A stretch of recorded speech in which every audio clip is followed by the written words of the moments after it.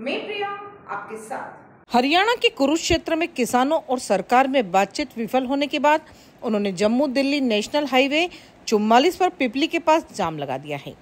किसान फ्लाईओवर और service road बंद कर लाठियाँ लेकर हाईवे पर बैठ गए हैं। हाईवे के ऊपर ट्रैक्टर खड़े कर दिए गए हैं। पुलिस ने जाम के चलते वाहनों के रूट डाइवर्ट किए हैं। किसान नेता राकेश टिकैत ने कहा, पिपली अनाज मंडी में एमएसपी महापंचायत में फैसला लिया गया कि हम अपनी मांगे माने जाने तक हाईवे को बंद रखेंगे। अतः सभी प्रदेशों की इकाई अग्रिम सूचना तक कुरुक्षेत्र पर नज़र बनाए रखें और अगले आदेश का इंतज़ार करें। सरकार की यह दमनकारी नीति देश का अन्नदाता बर्दाश्त नहीं करेगा। इससे पहले किसान नेताओं ने कहा कि दो बार प्रशासन से बातचीत हुई है। उन्होंने सीएम से करनाल में बात करने का भरोसा दिया, लेकिन फिर वहाँ की वे चले गए।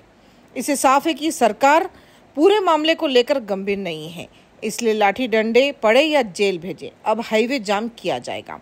किसानों की सूरजमुखी को लेकर एमएसपी दिलाओ किसान बचाओ रैली है। इसमें हरियाणा के अलावा राजस्थान, पंजाब, उत्तराखंड, हिमाचल प्रदेश और यूपी से हज़ारों की संख्या में किसान पहुँचे। किसान सूरजमुखी पर एमएसपी और किसान नेता गुरनाम चडूनी व दूसरे नेताओं की रिहाई की मांग कर रहे हैं। इसी के साथ बने रहिए राजनामा टीवी के साथ।